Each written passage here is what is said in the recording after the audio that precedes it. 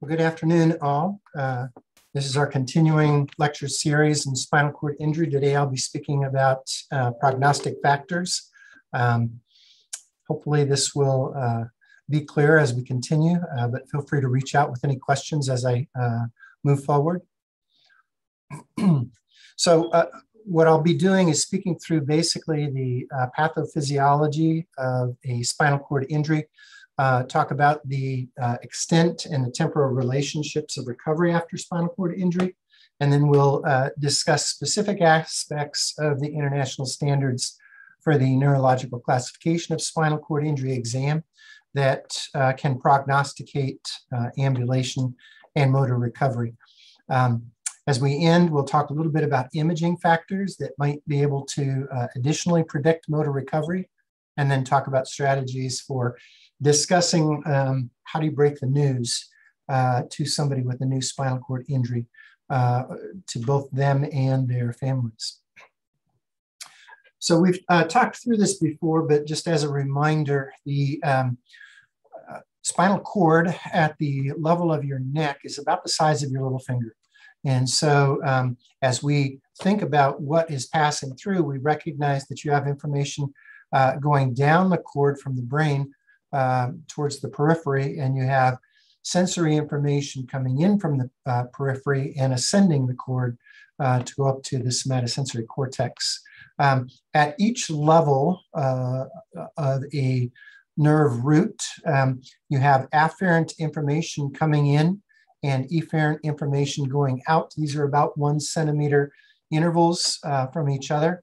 And you have uh, facilitatory or excitatory interneurons uh, as well as inhibitory interneurons. This is a very um, simplistic cartoon of uh, pathways through the cord, but you can see uh, an injury to the cord uh, can cause significant disruption. And so as we talk about uh, recovery after a spinal cord injury, um, we have to keep in mind a number of natural barriers to repairing or curing a spinal cord injury. First off, um, because of the uh, ischemia and necrosis that occurs um, within the area of injury, typically you will develop a glial scar. Now remember that the cord itself is about 90% glial cells, only 10% actually conduct electrical um, impulses. And so uh, soon after you begin building essentially in 360 degrees around this um, area of necrosis, a glial scar. So you would have to be able to break through uh, below and above that scar in order to um, have new neurons uh, traverse this chasm. And this is a chasm.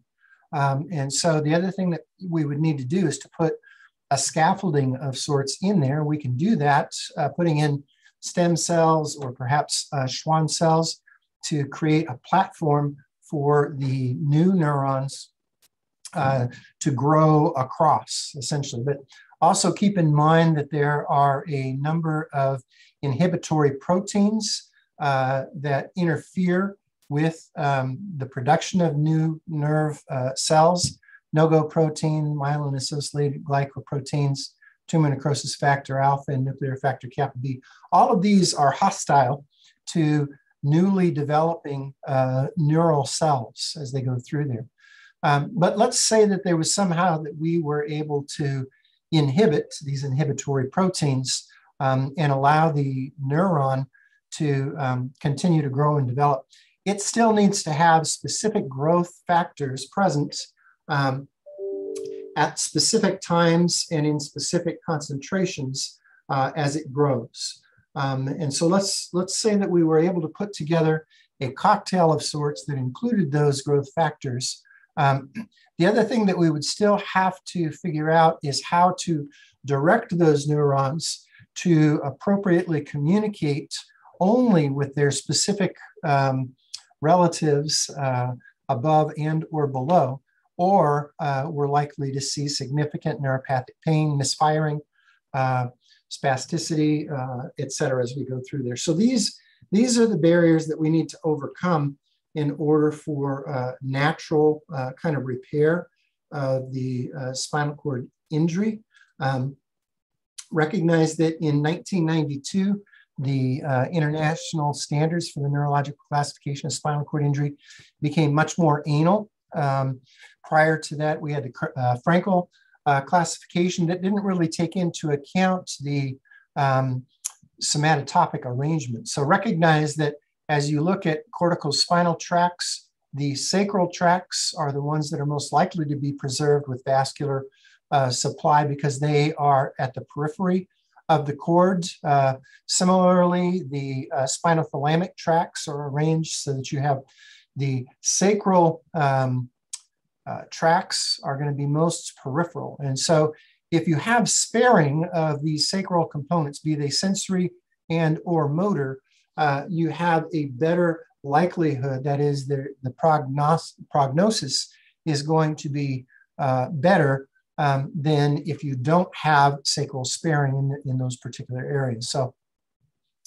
the Frankel classification put forward in 1969 uh, basically didn't take into account these uh, sacral components. And so the original uh, classification for spinal cord injury put forward by Frankel um, indicated a complete injury if you had no motor or sensory spared below the level of the injury. Um, you were uh, said to have an incomplete uh, uh, spinal cord injury if you had sensory spared below the level of the injury, but no motor function spared. Um, you would have a Frankel B. A Frankel C uh, indicated that you had less than anti-gravity strength in the majority of muscle groups below the level of the injury. Frankel D is that you had more than anti-gravity strength in the majority of muscle groups below the level of the injury. And a Frankel E is that you had five out of five motor and sensory sparing below the level of the injury. Still important to indicate that the person had a spinal cord injury because oftentimes you would still have disinhibition of the reflex pathways. Um, and so a person would be at high risk for spasticity, for detrusor sphincter dyssynergia, for neurogenic bowel, et cetera. And then the clinical syndromes were described as central cord, Brown-Séquard, anterior cord, conus medullaris, and cauda equina injuries, depending upon the uh, level uh, of the injury. So in 1992, um, the uh, American Spinal Injury Association uh, said, you know, um, we've got information now that uh, if you have sacral sparing um, related to the spinal cord injury, then it bodes well. That is, there's a better prognosis for recovery than if you don't have sacral sparing. And so that's why we became so much more anal in doing our exams back then. Um, and uh, we changed from the Frankel to an ASIA impairment scale. So the ASIA impairment scale A uh, is that you had no motor or sensory uh, sparing, uh, particularly in the sacrum. Um, so an incomplete injury, ASIA impairment scale B, indicated that you had sensory sparing and some sacral function spared below the level of the injury, but no motor function spared. ASIA impairment scale C, uh, like the Frankel classification before it, said that you have less than anti-gravity strength in the majority of muscle groups below the level of the injury, and you have some degree of sacral sparing. ASIA impairment scale D uh, indicates that you have more than anti-gravity strength in the majority of muscle groups below the level of the injury and sacral sparing and ASIA impairment scale E uh, indicates normal sensation, uh, motor function, and sacral sparing uh, below the level of the injury. Um, and again, these clinical syndromes were put, uh, put forward. Now, let me just put one caveat out there. Occasionally, you may see uh, somebody come in with, let's say, a uh, C6 ASIA impairment scale A tetraplegia. Um, and they come walking into your clinic and you're like, wait a minute, how can that be? Um, well, recognize it's, it's, it, it's taking into account sacral sparing. And so I have seen individuals who had no sacral sparing, but did have motor sparing. And so I would categorize that person as having a C6 ASIA impairment scale A Frankel D tetraplegia in that case. So um, these are just some of the uh, caveats that we use as we're trying to communicate to each other about uh, functional abilities after a spinal cord injury. So our tools, our sensory exam tools, uh, these, these are high-tech devices. Uh, one is a, a, tapered wisp of cotton. Um, and uh, typically you use a Q-tip, just a little strand of the cotton out at the end, stroking one centimeter of the skin using the face as the reference. And so this is the reference. Um, and then you're going to check um, all 28 dermatomes uh, as you come down through there um, and indicate whether or not uh, the sensation is absent. Score that as a zero. Uh, sensation was different than the face, that is impaired, you would score that as a one. And two, you would score it as uh, normal, the same as the face, at least eight out of 10 times.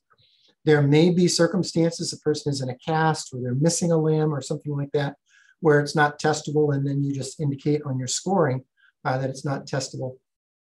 Sometimes there will be a non-spinal cord injury condition present. So for example, a radiculopathy or a brachial plexopathy, um, you score that as you find it, but put an asterisk there and recognize that the non-spinal cord injury condition uh, shouldn't be taken into account as you're trying to determine the level and completeness of spinal cord injury. So that's light touch. Pinprick sensation is uh, being able to discriminate sharp from dull sides of a safety pin. If the person cannot discriminate sharp from dull, if they feel you touch them, but they cannot discriminate sharp from dull, um, at least eight out of uh, eight out of 10 times, uh, then you would have to score that a zero. No distinction between sharp and dull. If their sensation is different than what they feel on the face that, yeah, that is impaired, it can be either hyperesthetic or less sensitive, but that would be impaired sensation. So long as they can discriminate sharp from dull, you could score that as a one. And then you score a two if it feels the same as their face, at least eight out of 10 times. Again, some areas may not be testable and you put NT when that's the case. Um, and if a non-spinal cord injury condition is present, uh, then you score what you see, putting an asterisk and making a note in the um, INSCE examination sheet as you go through there. So those are our sensory findings. We're going to list those out for light touch and pinprick um, on both sides of the body. We're also going to score 10 myotomes, five in the upper extremities and five in the lower extremities with regard to manual muscle testing. So as we look at these, um, typically we uh, discriminate uh, those that have less than uh, gravity strength. So less than anti-gravity strength is a score of zero, where the myotome has no visible or palpable contraction. Um, a one is even with gravity eliminated, the person cannot move the limb through its full range of motion. Um, and then a two is with gravity eliminated, they can move the limb through the full range of motion, but they can't move it against gravity. Anti-gravity is at least three out of five strength on a manual muscle testing score.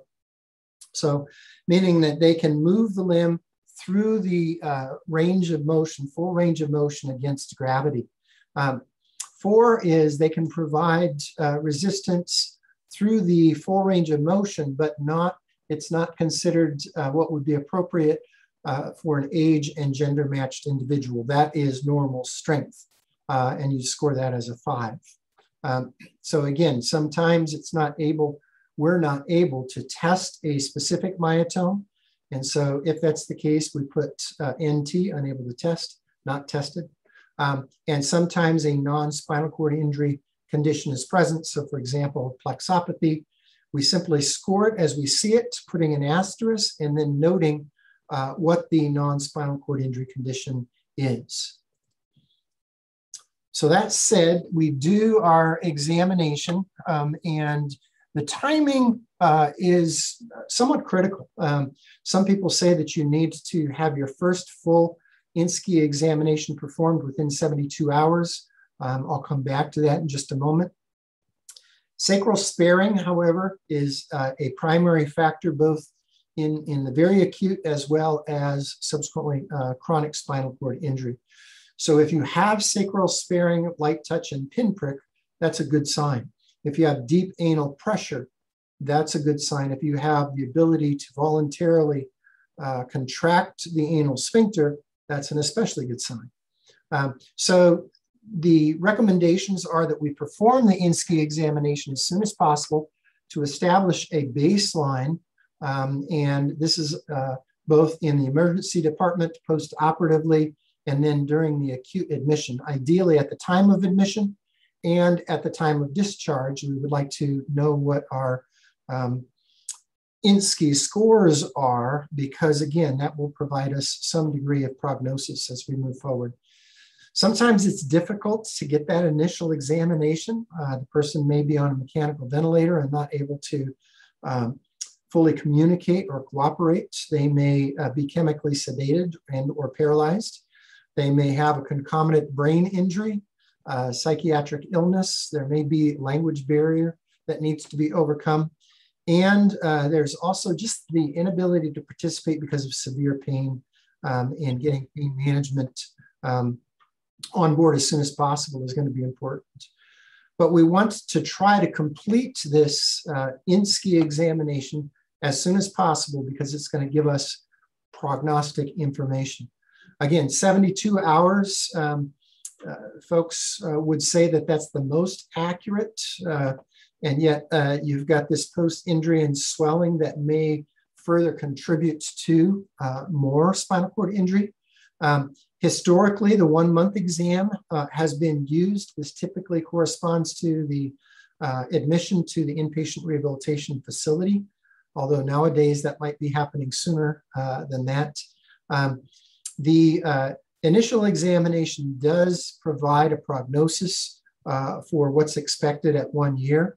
Um, there doesn't appear to be a significant difference when you look at uh, Brown's work, um, when you look at um, um, Bob Waters and Ralph Marino's work, basically um, that that window between less than or between three and three to seven days doesn't appear to be uh, a significant um, limiting factor for prognosis. Um, and we have a number of studies, um, both in the United States as well as uh, in Europe, that indicates that that's the case. So what does influence recovery? Well, unfortunately, age. Um, so we know that uh, if you're older than 65 at the time of spinal cord injury, um, generally you have a, a poorer prognosis. Doesn't mean you won't recover, but uh, your prognosis is um, less favorable than if you were under the age of 65. So FIM scores uh, were found to be significantly lower at 12 months after the spinal cord injury if the individual was uh, over 65 years of age. However, there were no age-related differences in motor recovery or um, ASIA impairment scale conversions uh, at one year. So it, it, they also showed, so a couple of studies, uh, and this was Olson and Penrod, uh, basically acute spinal cord injury um, with an age greater than 50, ASIA impairment scale A or B were less likely to walk at one year uh, post spinal cord injury um, than for those uh, less than 50 years old. So preserved pinprick in the majority of lower extremity dermatomes uh, predicts ambulation at one year post injury only for those under the age of 50. Um, it's just not as clear if you're over 50. Um, we also could use ASIA impairment scale C tetraplegia um, at the time of discharge to prognosticate. Those under the age of 50, more than 90% will achieve, achieve community ambulation if they had ASIA impairments uh, C tetraplegia at the time of discharge, as opposed to those over the age of 50, only uh, about 40, 42% achieved community ambulation. So age does appear to be uh, a, a, factor in terms of prognostication.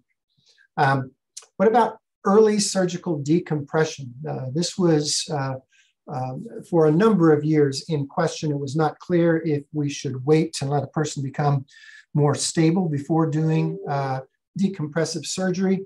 Um, but a number of studies, in particular this one, the surgical treatment for acute spinal cord injury study, um, put forward by um, Dr. Fehlings uh, in 2012, demonstrated um, those with acute cervical spinal cord injury uh, who had early decompression, that is within the first 24 hours, were almost three times as likely to recover at least two ASIA impairment scale grades, so levels of injury, at, uh, at six months versus those who had late decompression, that is, waited more than 24 hours to do the uh, decompressive surgery.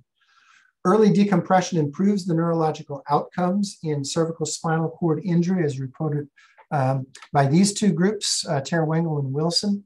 Um, basically, less than 24 hours for complete cervical spinal cord injury uh, demonstrated 22% uh, improvement of at least uh, two ASIA impairment scale grades uh, compared to 10% for those uh, who had late, more than 24 hours later decompression. And a um, early decompression improves neurological recovery in cervical spinal cord injury, but is inconsistent in other levels of spinal cord injury, so thoracic uh, and, and lumbosacral uh, spinal cord injury. It's not um, absolutely clear uh, yet, more research needs to be done. If you do the decompression within eight to 12 hours, um, is, is it better to do it at eight instead of 12 hours? Uh, we really don't know for sure, um, especially for the elderly and for those with central cord syndrome, thoracic level of spinal cord injury. We just need to do um, more uh, research uh, to be able to answer that question. So uh, penetrating spinal cord injury, for example, a gunshot wound, um, you're going to be more likely to have a complete spinal cord injury than just blunt trauma, um, especially in the cervical and thoracic regions. So particularly a thoracic spinal cord injury is likely uh, devastating. It's going to be more likely to be a complete injury because of high energy uh, to the neural tissue. Remember that the thoracic spinal canal is narrower, and so any swelling is likely to have a greater um, uh, in influence on uh, recovery of motor and sensory function uh, than in either cervical or lumbar regions where your spinal canal is a little bit larger. You have a little bit more literally wiggle room. Um, and uh, also remember that the thoracic spinal cord is a relative watershed zone. So the vascular supply to the thoracic spinal cord is not as robust as to the cervical uh, cord above it or the lumbar cord below it. Um, so the question, um, do you remove the bullet if it's there in the cord and or the canal? Um, and what they've found over time is that um, cervical and lumbar spine motor scores are unchanged now wait, I don't think I have this right. Cervical and thoracic, this should be thoracic, uh, excuse me. Uh, spine motor scores are unchanged, um, but lumbar uh, spine, spinal cord injuries um, will improve their lower extremity motor scores by more than 12 points. Um, and again, that's because the lumbar canal uh, is wider, you have more wiggle room, you have a better vascular supply to the lumbar cord, and the cauda equina is uh, less likely to be damaged than the cord itself. So again, cervical, and this should be thoracic, uh, excuse me, cervical and thoracic spine motor scores are unchanged with bullet removal, but you do see improvements with lumbar uh, spinal cord bullet removal. So Let's talk about the natural recovery for traumatic spinal cord injuries. Um, most, uh, the most rapid recovery occurs within the first three months uh, after a spinal cord injury. And most individuals uh, will have the majority of recovery within six to nine months. Neurological recovery usually plateaus at 12 to 18 months, that uh, Steve Kirshblum reported out um, in some individuals late neurological recovery. How late? More than two to five years post spinal cord injury. So there appears to be some uh, improvements for some individuals. Um, however, usually neurological recover, recovery plateaus at 12 to 18 months. Um, the initial ASIA impairments uh, scale grade is associated with uh, motor recovery, um, so that if you have an ASIA impairment scale C, you're more likely to recover motor function than if you have ASIA impairment scale B um, or ASIA impairment scale D. Um, and that's primarily because of a, a ceiling effect. Um, and all three of those is associated with better recovery uh, than ASIA impairment scale A. So uh, the complete uh, spinal cord injury motor score um, is uh, only 6.6 uh, uh, versus the incomplete motor scores, a change of 24. So a person with um, ASIA impairment scale A is less likely to recover. ASIA impairment scale D, as I said above, is less likely to improve because of a ceiling effect.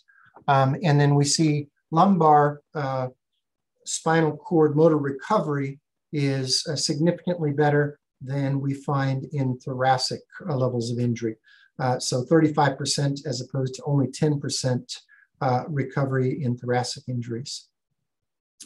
So what about conversion of Asian impairment scales? So let, us talk about Asian impairment scale A. So this is uh, a, a complete spinal cord injury with no uh, sacral sparing, no voluntary anal contraction, no deep anal pressure. Um, so the conversion to an incomplete injury for those individuals is only 20 to 30%. The lumbar conversion is greater than that of cervical, which is greater than that of thoracic spinal cord injury. Of those who convert to an incomplete injury, especially tetraplegia, 50% will convert to ASIA impairment scale B. Remember, this is sensory spared, but not motor spared below the level of the injury, except for the sacral region. Um, and 50% will convert to motor incomplete, and that may be ASIA impairment scale C, less than anti-gravity strength, or ASIA impairment scale D, greater than anti-gravity strength in majority of muscles below the level of the injury. A complete thoracic spinal cord injury, so thoracic ASIA impairment scale A is less likely to convert. Um, and the higher the level of the injury, the less likely you are to see a conversion to incomplete. So T2 to T5, ASIA impairment scale A, tetra, uh, I'm sorry, paraplegia, um, less than 10% likely to convert to an incomplete injury. T6 to T9, uh, about a 16% chance of conversion to incomplete spinal cord injury. And T10 to T12, again, um, because of a little bit larger space, a little bit better vascular supply, uh, about 30% of those will convert. Um, complete lumbar spinal cord injury is most likely to convert more than a third of the time.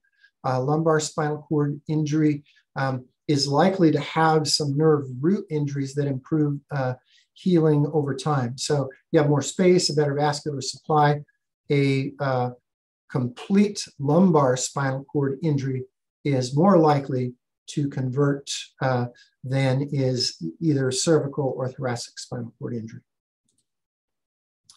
So what about complete tetraplegia? What are the likelihood of motor recovery? Those with complete tetraplegia usually will recover at least one level of motor function. Uh, so functional, that is greater than anti-gravity strength, is unlikely for muscles that have zero over five strength uh, listed at one month out. So um, not, not a good chance of anti-gravity strength in those muscle groups that have zero over five strength. Um, However, those with uh, complete tetraplegia um, are, are still likely to gain one level of motor function about two thirds of the time, two levels of motor function 16% of the time, and three levels of motor function 3% of the time. And this may have to do with the uh, zone of partial preservation. For persons with complete tetraplegia uh, at you know between one and four weeks, 90% of myotomes of muscles with manual muscle testing, at least one, uh, so between one and two, will convert to anti-gravity strength at one year. So if you have one over or two motor strength um, at uh, four weeks, then you're likely for that muscle group to have anti-gravity strength at one year. Lower extremity motor recovery is unlikely if the person remains a complete spinal cord injury uh, one month post injury. so what about complete paraplegia? Uh, so um, now we're talking again, motor recovery. Most with complete paraplegia at one month out will remain with complete paraplegia. 73% um, um, will uh, have uh, unchanged neurological level of injury at one year. Um, for those with uh, paraplegia above T9, 0% um, regained any lower extremity motor function at one year.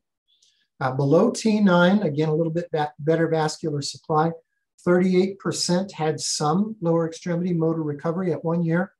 Um, and below T12, 20% of those individuals were actually ambulating with conventional orthotics, uh, typically KAFOs and bilateral Lofstrand crutches at one year.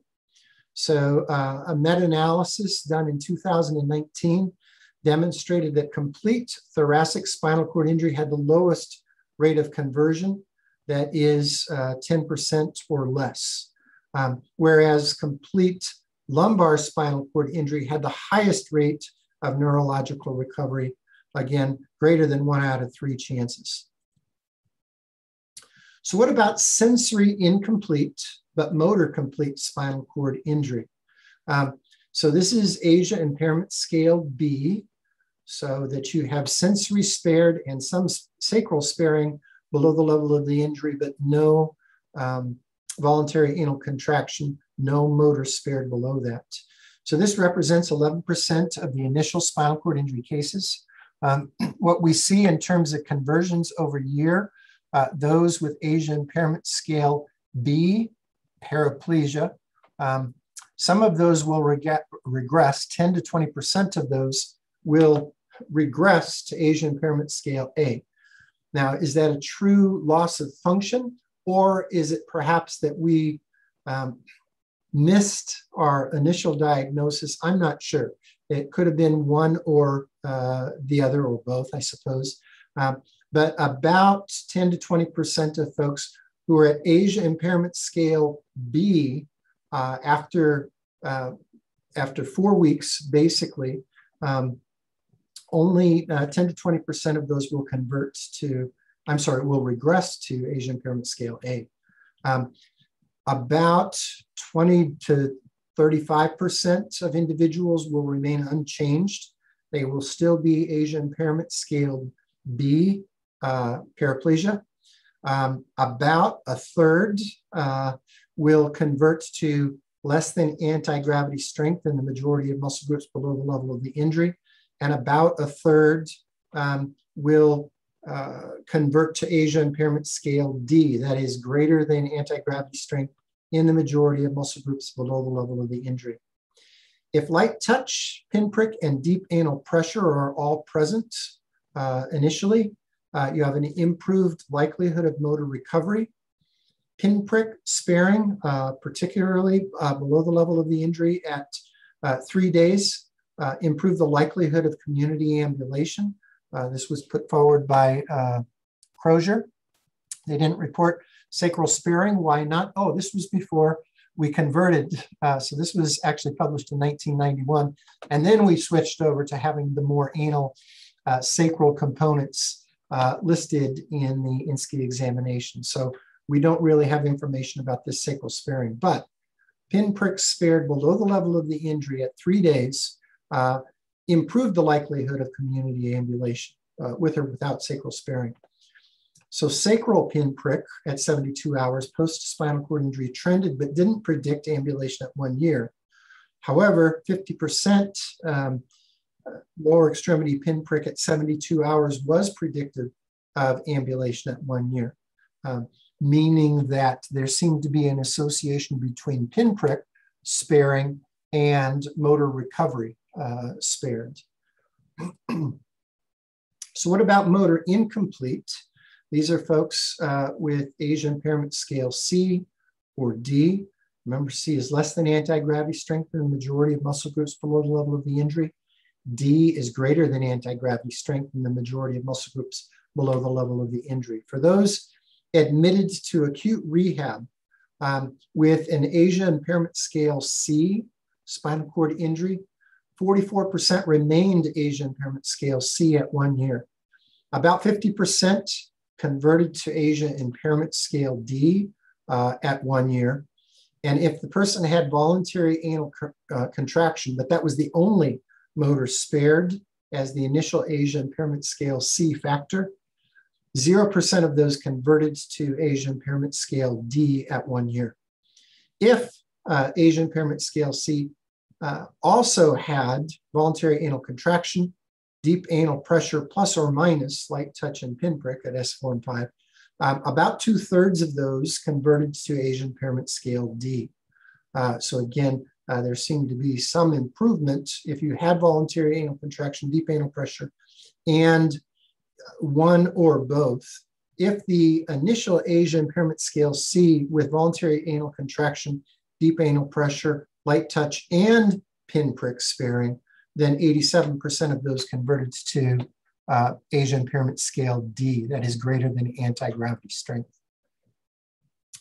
So what about uh, ambulation? Am I going to walk?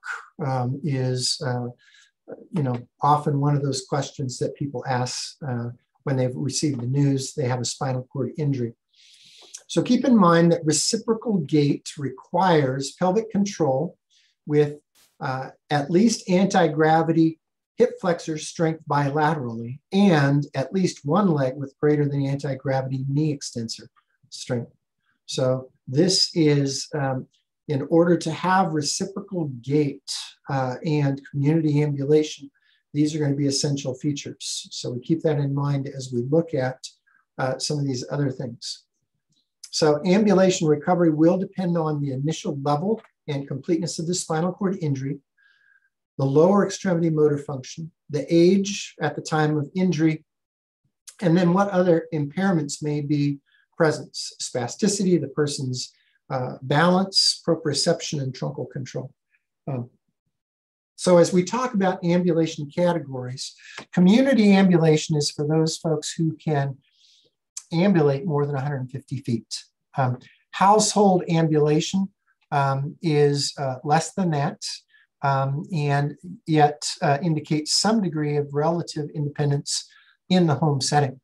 Um, some folks uh, can use ambulation for exercise. Um, uh, recognizing that using HKAFOs, for example, increases energy expenditure uh, somewhere between four and six times what usual ambulation would take. Um, and then you have the non-ambulatory categories uh, as you go through there. So Rick Hansen uh, has uh, two publications. Uh, Rick Hansen's up in Canada. They have the spinal cord injury registry predictors from that. The first uh, publication has to do with five um, variables, uh, age greater than or equal to 65 years, motor score um, at L3, motor score at S1, light touch score at L3, and light touch score at S1. Um, and then they uh, use this to make a prognosis whether the person is likely to recover. Um, a subsequent uh, publication uh, used only three of those variables uh, to predict because uh, you know some of this is a little bit too uh, onerous to complete. Um, so the bottom line is um, Asia impairment scale A and Asia impairment scale D predictions are more accurate than for those folks who have Asia impairment scale B and Asia impairment scale C um, at one month uh, post injury. And, and that's the bottom line. And whether you use these other factors or not, uh, it's just, it's more, um, you're going to be more successful, you're more likely correct if the person has an Asia impairment scale A, you can indicate that chances of uh, ambulation are going to be less uh, likely. Um, those with ASIA impairment scale D at one month are going to be more likely to gain some uh, additional motor function and become ambulators. So if we look at incomplete tetraplegia, this represents about 46% of individuals. Uh, uh, if we look at central cord syndrome, if you're under the age of 50 at the time that you sustained your incomplete spinal cord injury, 97% of those under the age of 50 uh, will become independent ambulators. However, if you're over age 50 and you get central cord syndrome, only about 40% of those will become independent ambulators. Um, Brown-Séquard syndrome, remember this is just one half of the cord uh, is affected. 75% um, of those will become independent ambulators at the time of discharge from acute rehabilitation. 100% uh, will become independent ambulators uh, at uh, discharge uh, according to, oh, so let's take a look at when these studies were completed. Um, the first uh, study, the typical length of stay for somebody um, was 80 days, essentially. We rarely have the opportunity to have somebody in acute rehabilitation for 80 days now. The other reference uh, from Bosch was half a year, so six months. Uh, before they were discharged from acute rehabilitation. So keep in mind when we talk about these, um, these studies uh, that they really probably don't apply now when we usually have three weeks or six weeks uh, for tetraplegia as you go through there. Um, so the bottom line is who's going to recover ambulation? If you have incomplete paraplegia, about three quarters of those individuals uh, will recover ambulation. Uh, for complete paraplegia, only 5%. Only 5% of individuals with complete, that is ASIA impairment scale A paraplegia uh, at 30 days uh, will uh, recover ambulation. so what else can we use to uh, look at prognosis? Um, in recent years, we've been using imaging studies. So MRI imaging in particular uh, looks at signal characteristics uh, and predictive patterns related to hemorrhage, uh, edema, or no abnormalities. And I'll show you what that looks like in a moment. Um, those with uh, hemorrhage um, are likely to be neurologically complete. Uh, that depends upon the severity. So the, the size and the length of the hemorrhage, um, the upper boundary uh, typically is associated with the neurological level of injury um, that we talk about with our INSCI uh, classifications. Um, edema presence, um, but without significant hemorrhage, uh, those folks are likely to be neurologically incomplete, but the more edema they have, the poorer the prognosis. If you have multiple levels of edema, swelling, uh, that's uh, bodes for a poorer prognosis. Those with no abnormalities, so no uh, imaging of uh, a spinal cord injury are uh, likely to be less severe and more likely to be incomplete spinal cord injuries. So they put together the basic score. Talbott reported this in 2015. Uh, basic stands for brain and spinal cord injury center score. Uh, so back to the basics.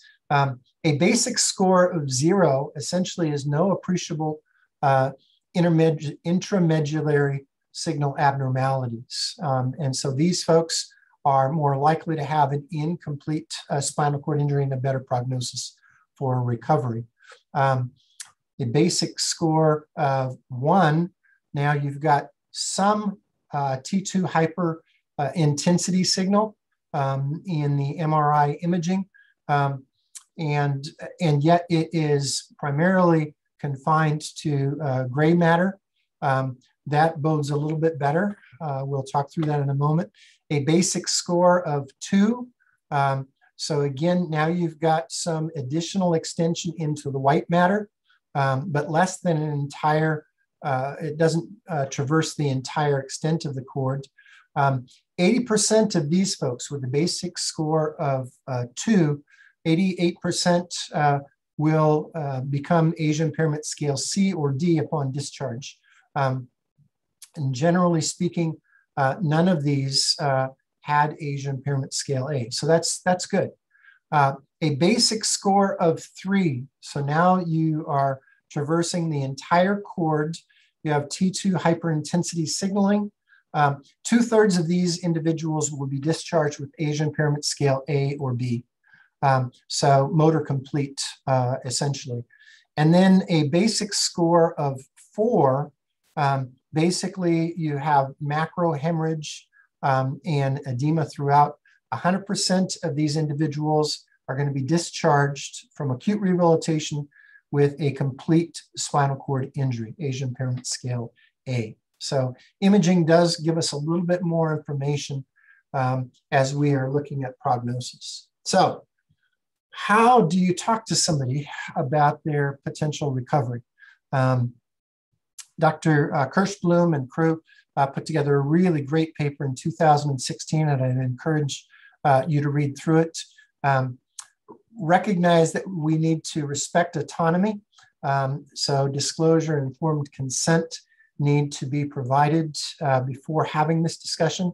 Um, providing the best care possible, obligation to do no harm, and then the um, social obligation to being fair to all individuals, treating individuals uh, similarly regardless of other aspects, including uh, socioeconomic status, uh, et cetera. How do you break the news?